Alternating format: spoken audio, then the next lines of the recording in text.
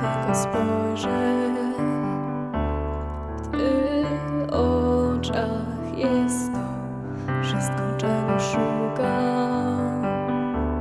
Wszechświat, którego my częścią jesteśmy dziś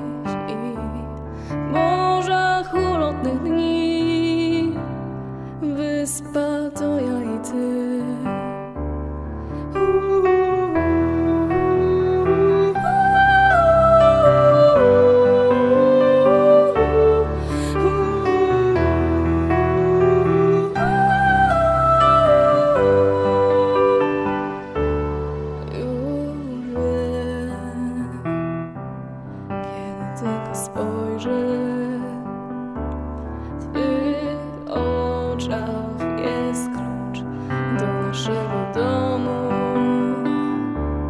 w którym schowamy się, którym może być tu i tam, gdzie zaniesie nas wiatr.